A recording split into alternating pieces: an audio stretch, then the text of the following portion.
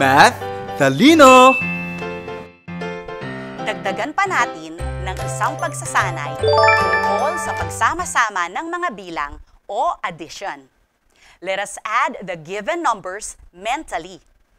Ngayon naman ay ibibigay ninyo ang sagot na gamit ang isip lamang at hindi na kailangang i-compute gamit ang lapis at papel. Get ready sa isa pang Mathalino time! Unang tanong. 7 plus 23 equals? Alin sa mga ito ang tamang sagot? A. 93 B. 29 C. 30 Ano ang inyong sagot? Tama! 7 plus 23 ay letter C. 30. Ikalawang tanong. 6 plus 15 equals? Alin sa mga ito ang tamang sagot? A. 21 B. 31 C. 75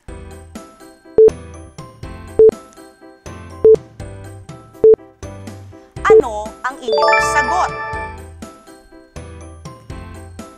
Tama! 6 plus 15 ay letter A. 21 Ikatlong tanong 36 plus 10 equals? Alin sa mga ito ang tamang sagot? A. 37 B. 46 C. 47 Ano ang inyong sagot?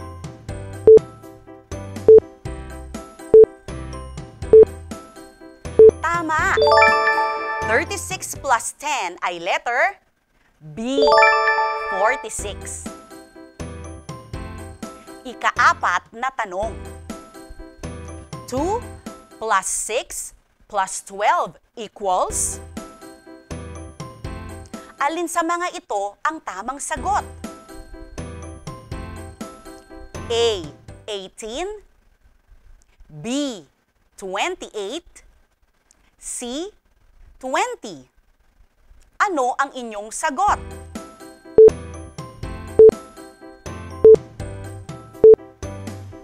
Tama! 2 plus 6 plus 12 ay letter C. 20. Ikalimang tanong. 8 plus 2 plus 22 equals? Alin sa mga ito ang tamang sagot?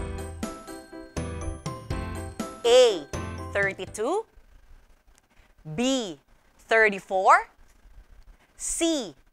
30 Ano ang inyong sagot?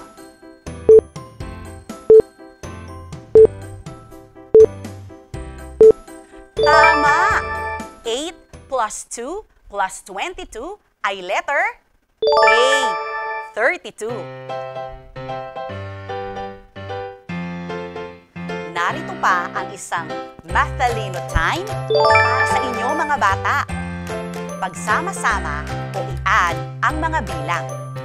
Ibigay ang tamang sagot gamit ang isip lamang. Isulat ang sagot sa inyong mga papel. Number 1. 50 plus 150.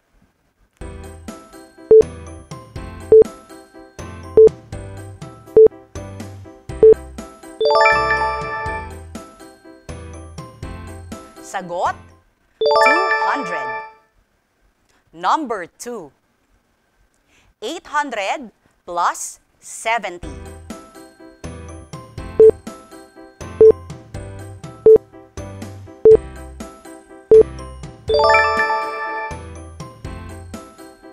Sagot, 870. Number 3. 600 plus 500.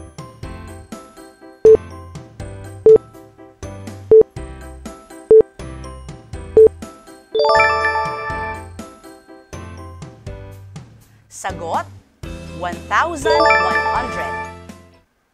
Number 4. 300 plus 500.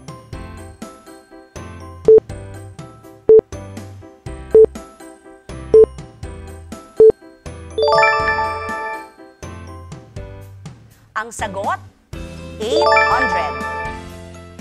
Number 5. 800 plus 200.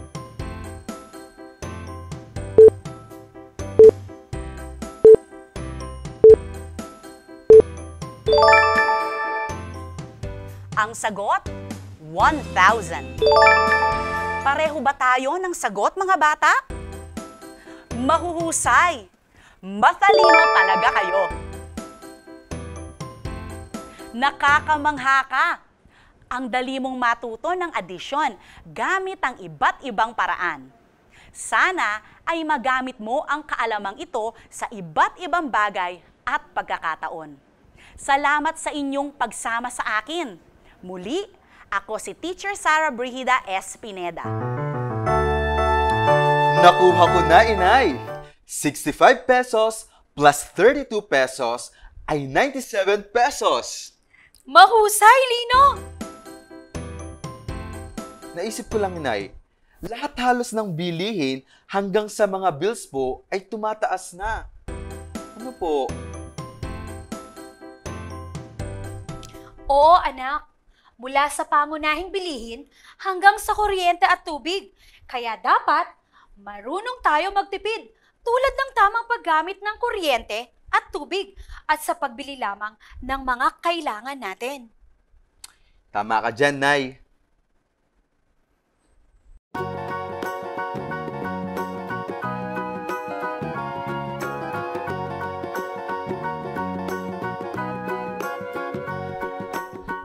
Nais mo makuha ang kabuuan ng mga numbers, ayusin lang ang mga ito ayon sa place value.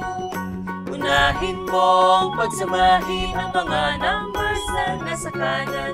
Pwede mo ring simulan sa ones place value.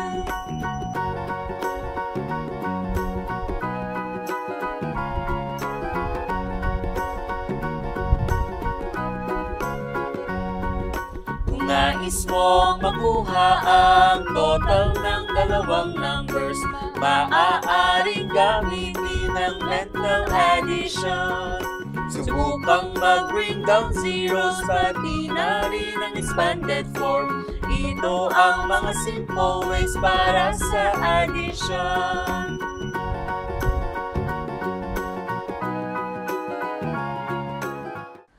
Mga bata, ang pagtitipid ay napakahalaga. Matuto tayong magpahalaga sa mga bagay na mayroon tayo at iwasan ang pag-aaksaya. Kahit tayo ay bata pa, mayroon tayong mga simpleng bagay na pwedeng magawa upang maipakita ito.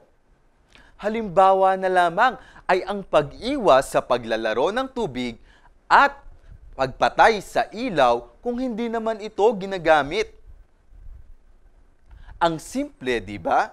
Pero makakatulong din ito sa pagbabawas ng electric at water bills na binabayaran ng ating mga magulang. Maraming salamat sa muling pagsama sa akin ngayong araw. Muli, ako si Kuya Lino na nagsasabing masarap maging matalino. Hanggang sa muli, paalam!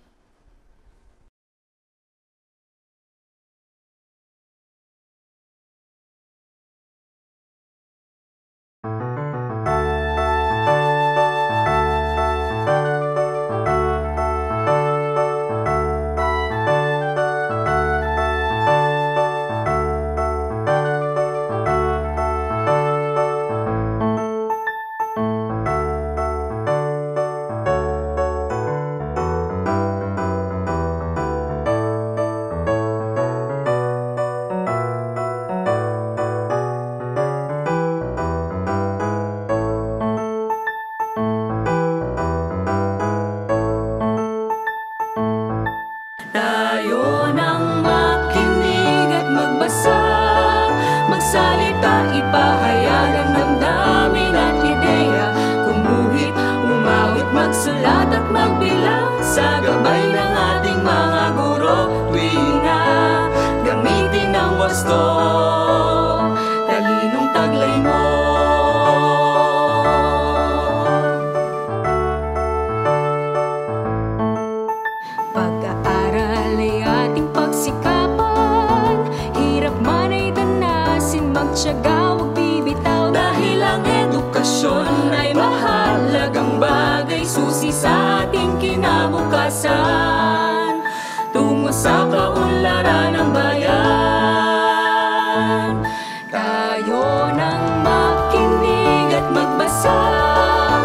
salita Ipaayag ang damdamin at ideya. Kumuhit, umawit, magsulat at magbilang Sa gabay ng ating mga guro. Wina, gamitin ang wasto